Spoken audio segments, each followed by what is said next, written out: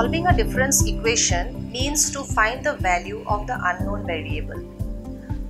In solving a difference equation, we have two different methods. One is the iterative method and the other is the general method.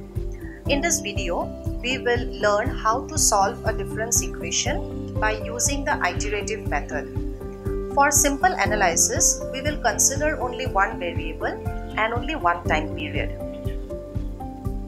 The iterative method is a basic method that says that the value of a variable y in some period depends upon its previous values. We may have three cases.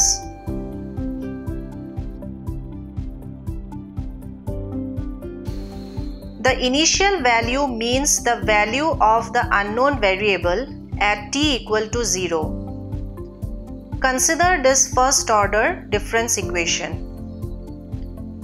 If the initial value of y is 10, what will be the value of y in the next period? Clearly, we may write at t equal to 0, y1 is equal to y0 plus 1. Since initial value of y is 10, y1 is equal to 11. Similarly, the value of y after two periods will be y2 is equal to y1 plus 1. Since the value of y1 is 11, we get y2 equal to 12. Now, y1 is equal to y0 plus 1. So, we can write y2 is equal to y0 plus 1 plus 1 or y2 is equal to y0 plus 2. Since we know the value of y at t equal to 0, we can easily find the value of y at t equal to 2. Similarly, y3 is equal to y0 plus 3. Using the same logic, we get y4 is equal to y0 plus 4. In general, we may write yt is equal to y0 plus t.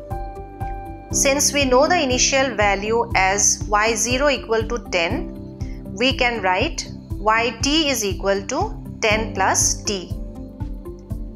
This means if the initial value of the unknown variable is known, then we can find the value of the unknown at any period.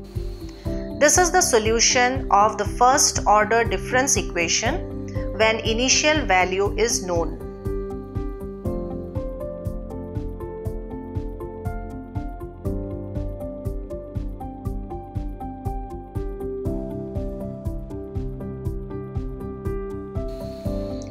Consider this first order difference equation. If t is equal to 0, we may write y1 equal to 0.5 y0. Let y0 be the initial value. Can you write the equation when t is equal to 1?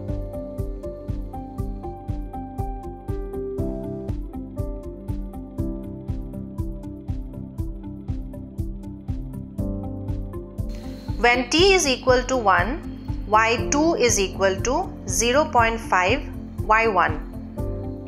Since y1 is equal to 0.5 y0, we replace this value and get y2 equal to 0.5 square into y0. In the same way, we can find the values of y in successive time periods. In general, for any time t, we may have this equation.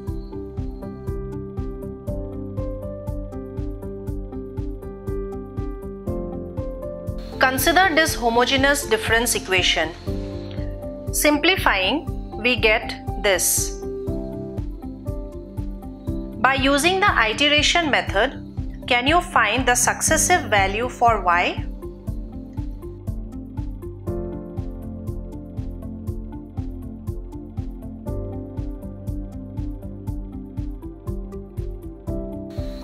These are the results.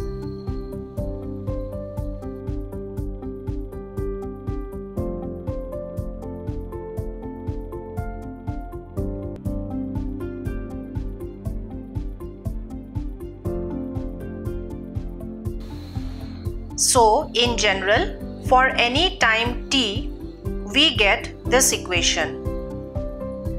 Now, instead of y0, let us take some arbitrary constant a and let b by a be equal to m, some other constant. Then the equation may be written like this.